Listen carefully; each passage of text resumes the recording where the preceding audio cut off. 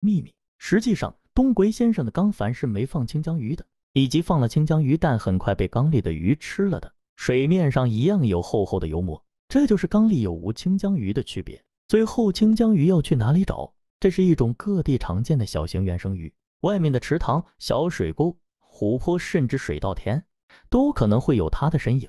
这种小鱼在静水水域常见。东龟先生给大家推荐清江鱼除油膜，印象中至少有两三次了。但近期问到油膜问题的人比较多，所以再次给大家推荐一下。建议后面遇到问题的朋友，先翻翻前面的视频。东归先生制作，谢谢观看。